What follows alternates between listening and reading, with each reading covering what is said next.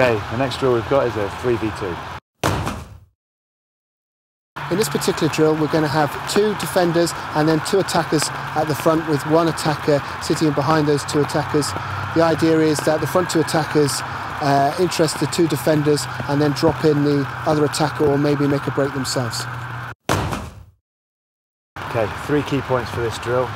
One that I'm constantly reminded about is when, when you're the first ball receiver, making sure that you make a you make a decision, make the defence do something. So attack the line, whatever you do, whenever you get the ball, just take the ball to the line hard. Make the defenders have a decision to make.